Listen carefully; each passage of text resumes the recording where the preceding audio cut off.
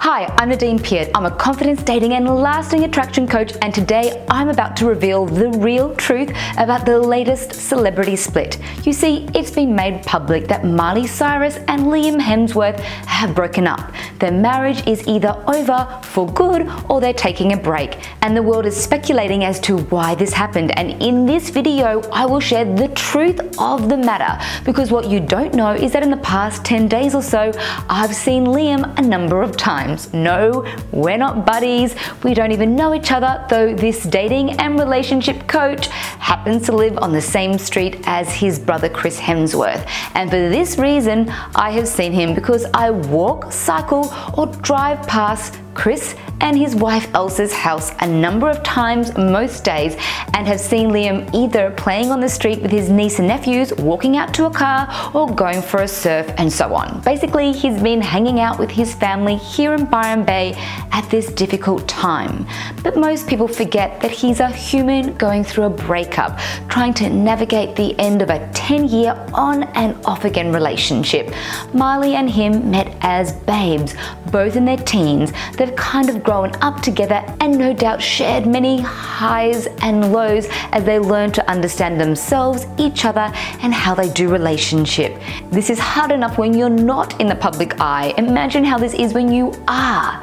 Quite frankly, my heart goes out to him, both of them, as right now the media is vomiting stories that he has a drug problem or that Miley cheated on him with a woman or that Miley is going off the rails again and she's the one back on drugs or that they were never suited. All of that is noise that is taking away from the heart of the matter, which is none of this is your or my business. And whether any of these stories are true or not, none of it means anything to you you or to me.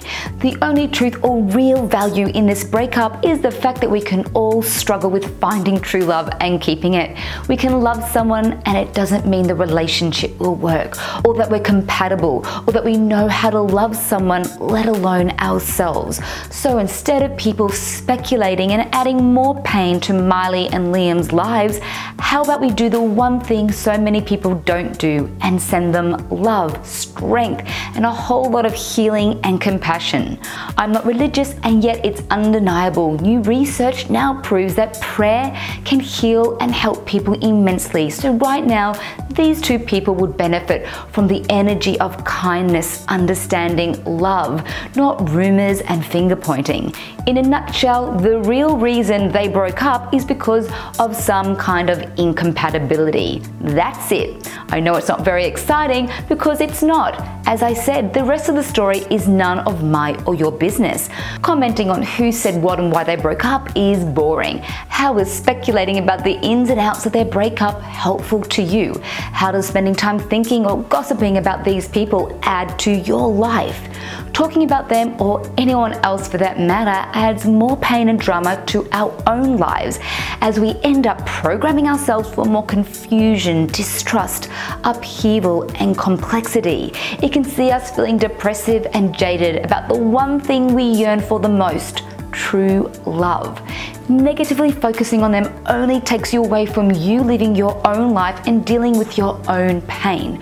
Who really cares what Miley posts on social media or whether Liam does or doesn't have anything to say about it? Yes, social media is powerful. Yes, they both post pics for a reason. Yes, they may want some attention or to create a stir. I get all of that. That's what we all do to a lesser or greater degree. So here is my truth.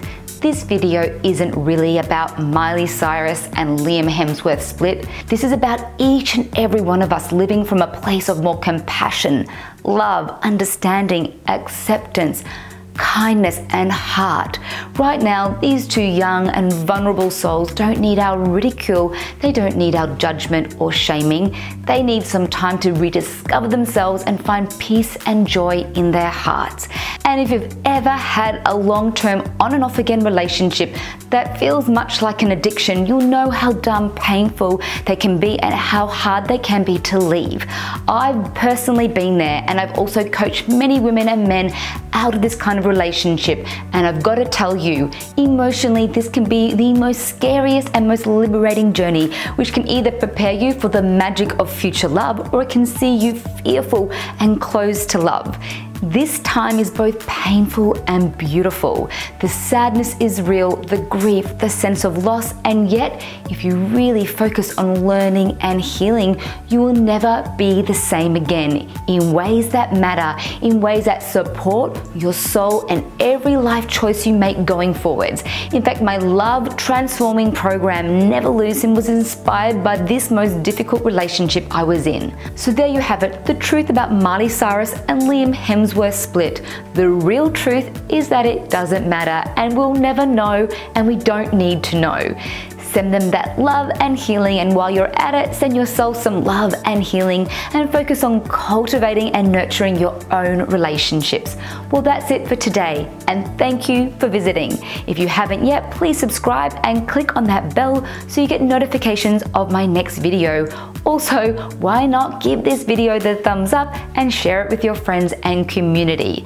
Thanks again, and I'll see you again at my next video.